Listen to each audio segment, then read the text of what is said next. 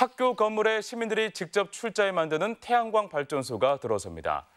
전주 시민 햇빛 발전 협동조합과 영생 고등학교는 업무 협약을 맺고 오는 12월 완공을 목표로 학교 주차장 부지에 50kW급 태양광 발전소를 짓기로 했습니다.